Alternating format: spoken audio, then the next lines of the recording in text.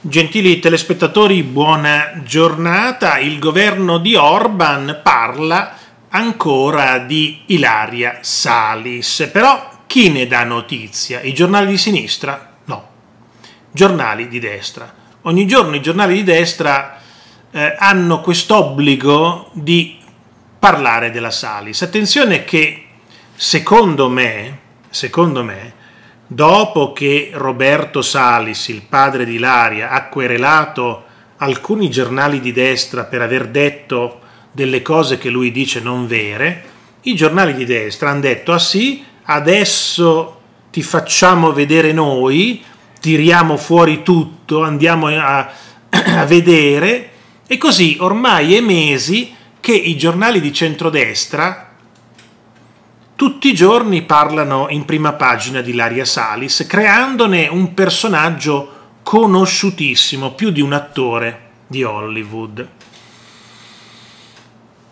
E oggi ci fanno presente che il governo di Orban di nuovo contro la Salis. Quindi lo sappiamo tramite i giornali di centrodestra, perché gli altri giornali, quelli di sinistra, la Salis non se la calcolano più. Qualcuno dice non ne parlano perché si vergognano. Ma figurate, ma secondo voi la stampa, la Repubblica si vergognano della Salis? Ma, ma state scherzando? Questi vanno orgogliosi della Salis. Ricordatevi che la Salis è stata un'operazione incredibile, mai successa prima, di come riuscire attraverso la politica a tirar fuori una persona dal carcere. Questa è un unicum al mondo, non era mai successa una cosa del genere che una carcera, incarcerazione preventiva in attesa, detenuta in attesa di processo, si candidasse a delle elezioni europee per poi essere eletta e uscirne. È una roba da film. Sicuramente ne faranno un film, vedrete. Va bene.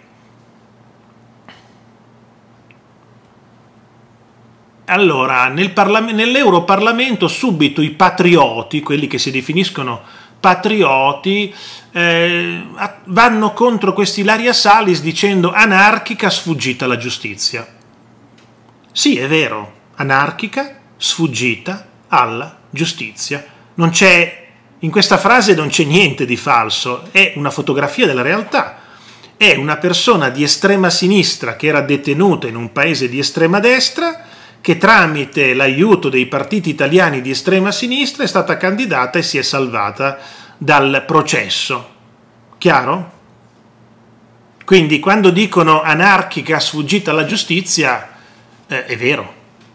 Ma anche lei non è che credo abbia nulla da ridire su questo. Anarchica sfuggita alla, alla giustizia. Beh, lei oggi dice che lei era dentro per motivazioni politiche. Beh, anche, anche, anche, certamente, anche, anche per motivazioni politiche. Se la Salis fosse stata un estremista di destra in Ungheria, per fatti simili verso estremisti di sinistra, non sarebbe andata in galera. Non so se avete capito. Eh? Se fosse stato a cose inverse, non sarebbe andata in galera se, se, se la Salis fosse stato un estremista di destra da Orban non sarebbe andata in galera. Quindi diciamo che c'è una bella parte politica in quella detenzione, comunque sia. Ormai è archiviata, perché questa roba qui non andrà più avanti, metteteci una pietra sopra. E così ehm, dice conoscete, dice il portavoce del governo Orban Zoltan Kovacs, che scrive su X, conoscete Ilaria Salis, l'anarchica che è sfuggita alla giustizia diventando una parlamentare europea?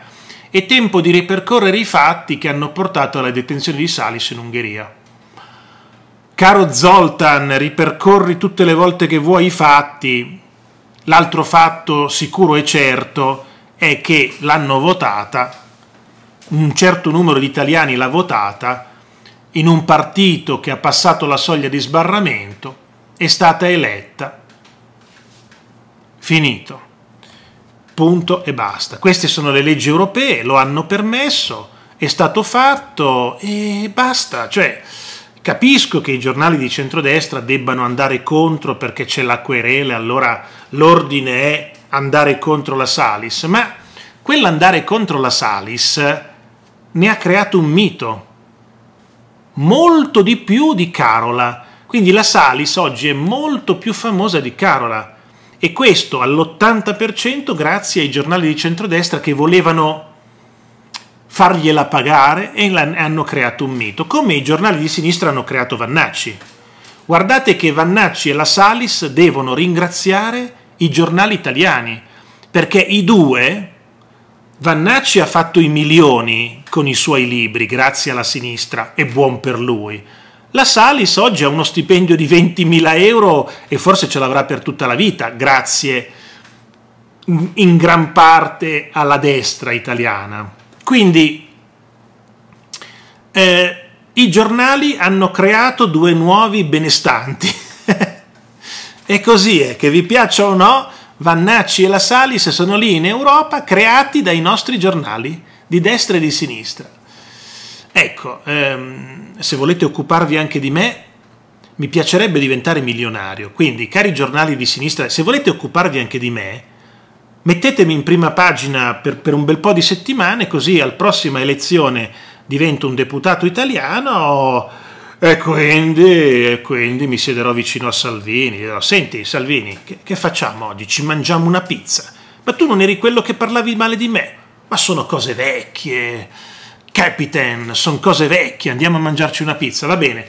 A parte la pizza con Salvini, ehm, poi naturalmente ehm, l'eurodeputato austriaco dice c'è una deputata Salis eh, che picchia le persone. Ecco, poi arriva il deputato Maier che lui ha già la sentenza, no? Visto che, eh, parliamoci chiaro, mm, la gente sulla Salis, molti hanno già espresso la sentenza. Per l'opinione pubblica di destra la Salis è colpevole però in realtà, in realtà, a parte quello che uno immagina, eh, in realtà non c'è stata mai una sentenza, non c'è stato un processo, i testimoni non hanno identificato la Salis. Questo non vuol dire che non sia stata lei, però non c'è una sentenza, ma il popolo di destra ha deciso che lei è colpevole. Poi magari lo è, attenzione, magari lo è, magari lo è, però bisogna essere garantisti fino all'ultimo grado di giudizio, ma lei non avrà mai un giudizio, quindi il giudizio deve essere sospeso, che vi piaccia o no, è una che si immagina abbia fatto quella roba lì, ma non ci sono prove e non c'è processo. Quindi and- eurodeputati che dic- dicono che una che picchia le persone è eh, diffamazione, quindi io credo che questa Salis potrebbe farsi tanti soldi denunciando tutta sta gente qua per diffamazione. Dice, dove sono le prove che io picchio la gente? Mi hai diffamato. Ecco, insomma, io vi dico sempre quello che penso. Eh, capisco che le tifoserie sono schieratissime sulla Salis, però guardate, io non tifo per nessuno. A 50 anni non tifo per questi politici qua. Ma li avete visti? Ma li avete visti o no? Li avete sentiti parlare? Ma avete visto come vi prendono in giro? Quindi, secondo voi, io faccio il tifoso di quella gente qua e la chiamo volutamente quella gente qua, come parla Bersani, no? quella gente qua, quella roba qua. Volutamente sto parlando con un linguaggio più basso, perché questi politici si meritano un linguaggio basso. Arrivederci a tutti e grazie.